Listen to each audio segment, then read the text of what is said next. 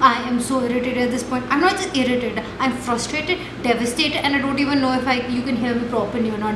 I have lost my fuck. My makeup just fell. I.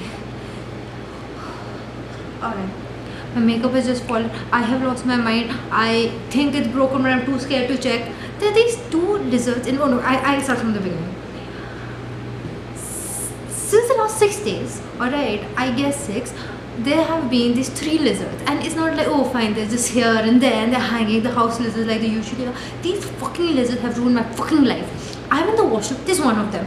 Whenever I'm going to actually sit on the actual pot in my restroom, these guys are going to be like i'm sorry some people call it twilight so anyway when i'm actually going to go and sit over there these fucking that fucking bitch of lizard. I don't know if it's a bitch or a bastard. It actually decides to go for whichever location it is and run behind to where my actual pot is and hide right behind the geyser and i I cannot go anymore. It was so frightening, and the entire six day period, I had lost my mind. Now these other two lizards, like that's one lizard over there. The other two lizards, one right now is hiding right over there on top of my wardrobe. I'll just put a clip in, and that bitch is not moving. I have thrown three of these. One liter chilled ice water because the internet says so. Because internet is right, and I have to. I am having a mental break now. Alright, so I have thrown 3 liters over there, chilled water, thinking the lizard's going to go. Nah, my entire wardrobe, dresser, top part, whatever you fucking call it, is completely drenched. It's making no difference right now. That bitch is still there. I have uh, scooted my bed right and forward. Uh. I scooted my bed forward so that uh, one, or the other lizard, the second lizard, is actually hiding underneath my bed, and it could actually, you know,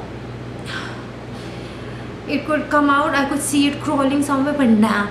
This fucking bitch of a lizard is still hiding somewhere inside my bed. I can't find out where. And it's so dusty and i have a sinus issue so i actually can't see.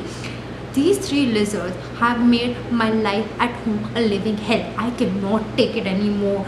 Yesterday night i mean i've not been sleeping obviously because it's not like they're just hanging in the wall doing their thing enjoying their life nah, nah, nah, nah, nah, nah, nah. these bitches like to come around me. They like to play. And the ones that are in the bedrooms actually like to crawl underneath my bed whenever i decide to get up. So it's like they're gonna be on the wall hanging chilling. And they're like oh wow sid's getting up. Let's do one thing. Let's just fucking crawl our way down and you know just show them